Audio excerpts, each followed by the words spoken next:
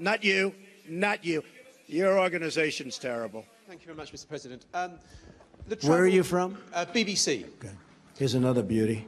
Can you Quiet, state, can- quiet. Mr. President-elect, Go ahead. Can you She's- state she's asking a categorically, question. Mr. Don't be. President-elect, can you give us a question? be You're rude. attacking us. Can you give us a question? Don't be Can rude. you No, give I'm not us a going to give you a question? question. Can I'm you- not going to give you a can you sta- can you state You are fake news. Sir, Go ahead. Can you state Journalists in the United States are under attack and being silenced by the president they're supposed to be holding to account. These are tough times for reporters at the White House. We've had to fight for our right to stay in the press room. We've had to fight for the right to stay on Air Force One and travel with the president. Time and again, Donald Trump has turned his back on the media. In April, he turned down an invitation to the White House Correspondents' Dinner, an event traditionally attended by US presidents.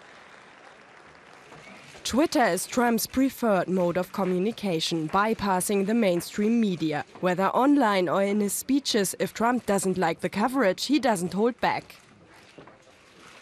You're fighting the fake news. It's fake, phony, fake. His use of the, the phrase fake news for every story he doesn't like uh, has sort of hidden the fact that there is sometimes news that comes out from other you know, sp- state sponsored or, or other organizations that is deliberately fake. Uh, and that, of course, is a threat both to uh, the, our readership and to our profession. The White House Correspondents Association has represented journalists covering the US president for more than a century. For Jeff Mason, its role today is more important than ever, protecting correspondents' rights and making sure they can do their job in Washington. This year, Deutsche Welle is honoring the association with its Freedom of Speech Award, an award that recognizes people and initiatives that promote free expression and human rights around the world.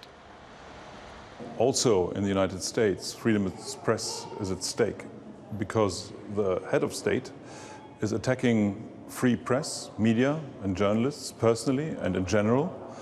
And I think this is not acceptable. We recognize that the world has been watching some of what we've been doing, and uh, we're grateful for that support. And we also, in addition to standing up for press freedoms here in the United States, certainly support press freedom all around the world. Despite pressure from the White House, Jeff Mason and his colleagues are determined to do their jobs, report the facts, and ask the critical questions.